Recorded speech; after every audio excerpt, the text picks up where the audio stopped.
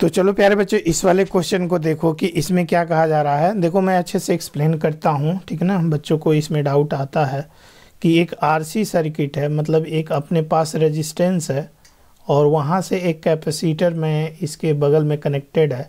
अब obviously capacitor यहाँ से आइडियल में मानूँगा और यहाँ पर मैं एक एसी का सोर्स लगा दिया, कुछ ऐसे सर्किट कंप्लीट कर दिए। ऐसे किसी भी इंस्टेंट करंट आई फ्लो हो रही है।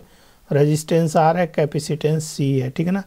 तो क्या कहा जा रहा है इस सर्किट में? ये कहा जा रहा है when two situation when capacitor is air field तो पहला अगर कैपेसिटर एयर फ़ील्ड होता है तो वोल्टेज उसके अक्रॉस बी ए है।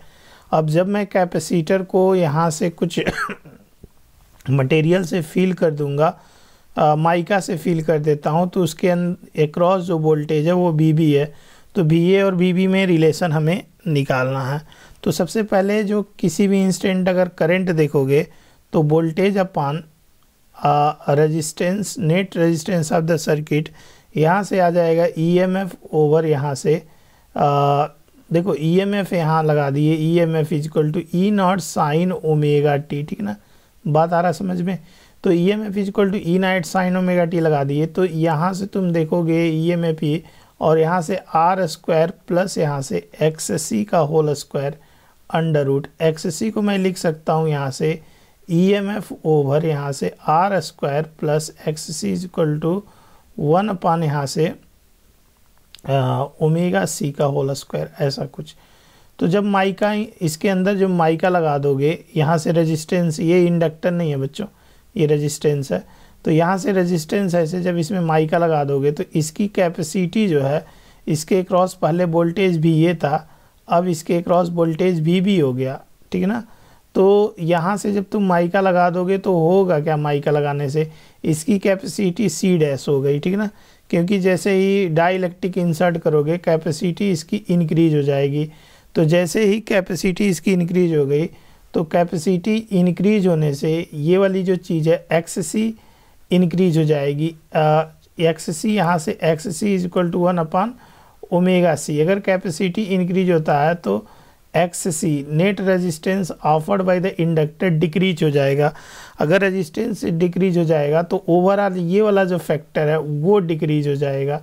अगर ये डिक्रीज हो जाएगा जेड डिक्रीज हो जाएगा। तो यहाँ से जेड डिक्रीज हो गया। जेड डिक्रीज हो गया तो करंट की वैल्यू बढ़ जाएगी।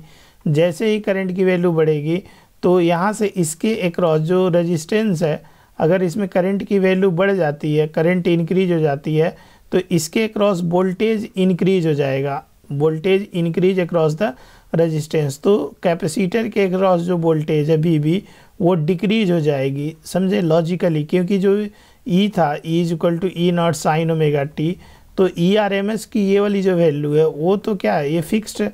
तो अगर ये वैल्यू फिक्स्ड है तो अगर रजिस्टेंस के क्रॉस वोल्टेज बढ़ेगा ये जो रजिस्टेंस है इसके क्रॉस अगर वोल्टेज बढ़ेगा तो इसके क्रॉस तो घटना पड़ेगा ना भाई? आ रहा समझ में? तो इसके क्रॉस घटना पड़ेगा।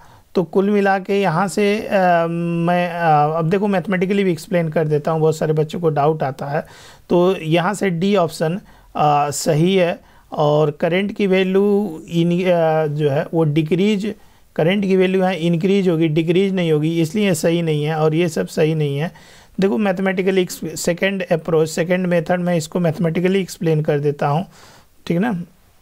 सेकेंड मेथड एक तो लॉजिकली एक्सप्लेन कर दिए फिजिक्स से। सेकेंड मेथड ये है कि करंट एट एनी इंस्टेंट जो ईएमएफ है, अपान यहाँ से जेड ठीक ना? तो ईएमएफ अगर जेड की वैल्यू यहाँ से देखोगे तो आर स्क्वायर प्लस यहाँ से एक्स सी का होल स्क्वायर अंडर रूट तो यहाँ से ई एम एफ़ यहाँ से नेट और R square plus X C is equal to one upon omega two pi frequency और सी का होल स्क्वायर और ये सब यहाँ से अंडर रूट ठीक ना?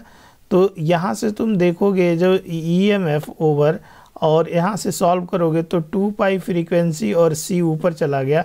क्योंकि ये स्क्वायर चढ़ा था, रूट था और इधर बचेगा four pi square frequency square, C square, R square plus one under root. ये सारे फैक्टर बच जाएँगे।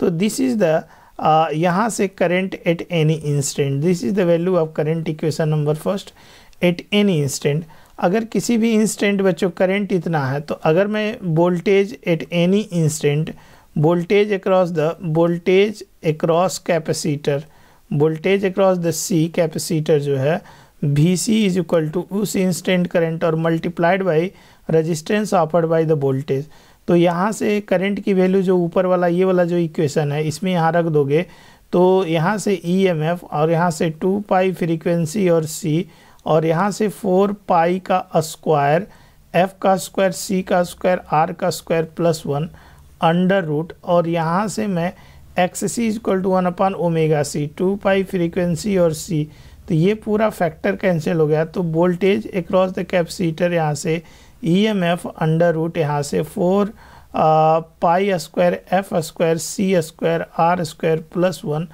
under root यहाँ से मिल जाएगा। ठीक है ना? ये जब सोल्यूशन है बच्चों, बहुत मेहनत से और मेरे एक्सपीरियंस से मैं बनाया हूँ। तो तुम इसको इंजॉय करो और दोस्तों के साथ ज़रूर शेयर करो। तो जब माइका डालोगे तो सी की वैल्यू यहाँ से बढ़ जाएगी। जैसे ही सी की वैल्यू बढ़ेगी वोल्टेज अक्रॉस द कैपेसिटर जो है वो डिक्रीज हो जाएगा। That is V B is less than B A that is D option is the correct thank you अपना बहुत ख्याल रखो और दोस्तों के साथ मेरा सोल्यूशन ज़रूर शेयर करो। इफ़ यू मुझे सपोर्ट कर रहे हो तो।